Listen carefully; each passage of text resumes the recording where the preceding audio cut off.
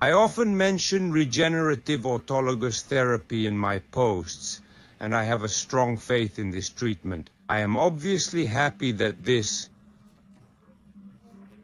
therapy, this autologous regenerative therapy method using Seffiller and Seffihair techniques, I have a great appreciation for this, and it holds a prestigious reputation not only in my eyes but also in Italy and globally.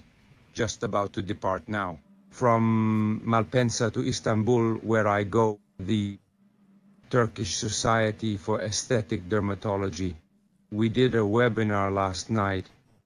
Last night, a webinar took place featuring more than 200 highly interested Turkish dermatologists who were eager to learn about the Seffiller technique for therapy. Regenerative therapy in aesthetics, but also the Seffihair technique for regenerative autologous therapy of alopecia. Well, we did the webinar two days ago, and now I'm heading to Istanbul because Saturday and on Sunday there will be two intensive days of hands-on treatments, live demonstrations, and overall great interest, sharing experiences with colleagues from all over the world. I will tell you how this experience goes with my highly skilled Turkish colleagues.